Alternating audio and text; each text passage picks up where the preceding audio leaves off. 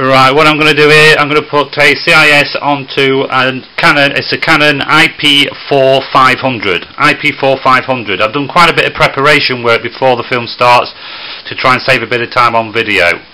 We'll start at the beginning. You get the head, it comes with the uh, printer, and if you look on there, let's get the light there, there, each one of those has got a little rubber ring placed on it. Those rubber rings come in with the kit, four small ones, one big one, you must, without fail, put those on first. I don't know if you can see clearly enough, but there might be a, a dot or two of ink on these where I've already been testing the system. That it is very important that those rubber rings are there on the head. There's a CIS with some orange clips off to save time. But what we're going to do is get straight into it. You switch your printer on and straight away it will bring the carriage out to here lift that up and put your head in. There, the head's into place and we've got to get the CIS in there. Right, I've got the CIS here with four clips off. I've left one on just to show you how they come off. You just clip that orange clip up and off. You've got all of them there. They are currently, we'll move, move them out of the way to go fly everywhere. They're currently upside down with the chips facing us. What we have to do now is put them into there. So all you have to do is turn them over and put them in. Then just click each one down.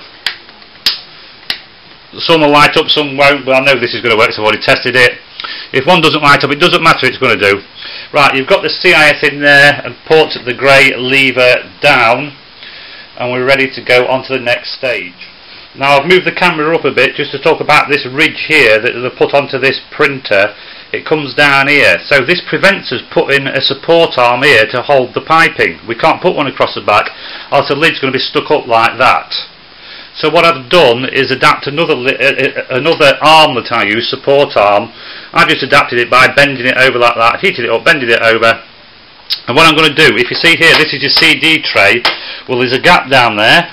I'm going to put it down so you can see. Just here what I'm going to do I'm going to go into the middle and stick that on there it's got a sticky pad on it. There that is stuck into place to hold the piping. So then get the piping off the CIS if you look there. Ooh, knock the camera there. Left no twists curling back on itself and onto here. Then just get this little bit that also comes into that hole into that hole and click it in. That's going to hold the piping there. Got that a bit too long there now that has got to be long enough to go across there, so that's about it there. When it's sticking up like that, once you've done it, just push it down. and It'll be okay. Then the um, piping comes across to the right, and we're going to put a clip on the right hand side to uh, keep it in a straight line. So I've moved the camera round, the things here to hold the piping, so come straight across with it, like this, into there, get your black bit that's with it and clip that into place. There, that's holding your piping into place. So we've actually got that CIS on there. But before we go to making it work, I'll just point out a couple of other things. If you notice there, I better move the camera again. On the right hand side we've got the ink bottles. It's very important that those ink bottles are on the same level as the printer. You can see I've got it on the table there the printer's on the table, so the ink bottles must be on the table. If you lift them higher than the printer, gravity will pull the ink through and flood your printer and ruin it. So do remember, it must be that height. Whatever you do, if you see air in the pipes or anything like that, do not be tempted to lift that higher because it will flood your printer. The air will go anyway. And once you've got them set up, if you look here, there's a little bung there. I've only put one in, but all the way along here you've got little bungs. You take what you take them out.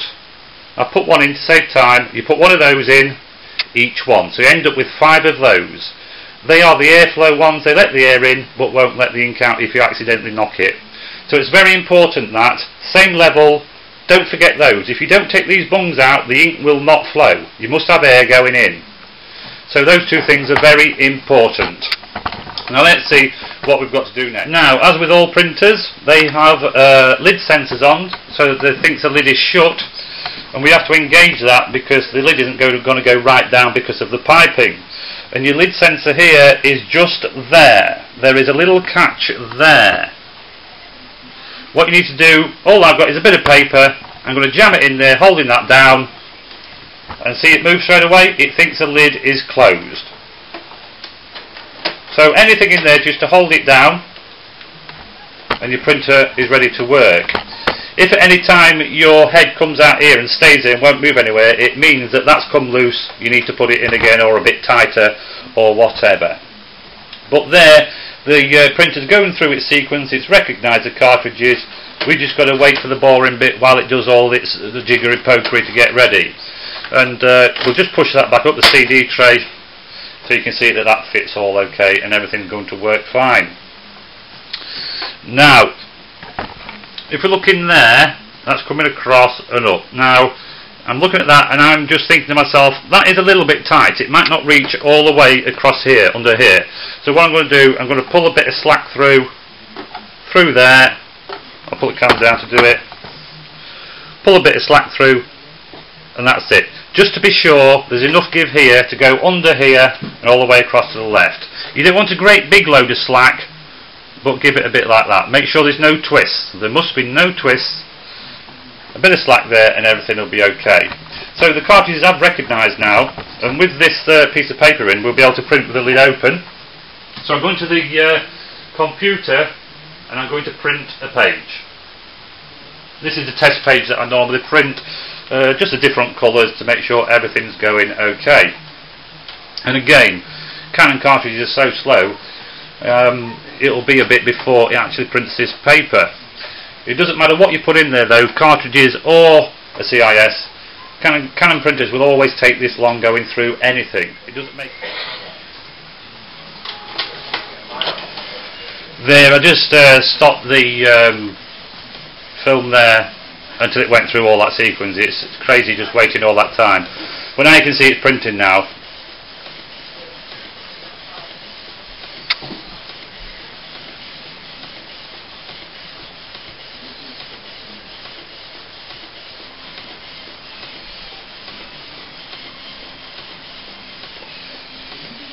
It'll print all the uh, colours.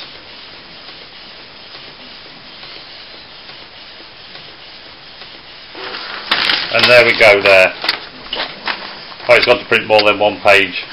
I must have had it on more than one. But there you go. All four. Perfect. Perfect print. Good colours. And there it is printing away. And just to pull the lid down so you can see it prints the lid. It won't go all the way down so don't force it. Just pull it down, rest it like that. It'll stay open a little bit, about you know about an inch, but there's nothing we can do about that. There it is printing away with the lid almost down. But if you're going to save a load of money on your printing, I think an inch on the lid doesn't matter, does it? It's a shame really because I do prefer to have an arm coming off the back, but we can't put an not the camera over there. We can't put a um, arm here coming this way because this ridge that Canon have put on that one there, if I've got an arm there, that ridge comes down, stops on the ridge, and the lid is stuck up like that.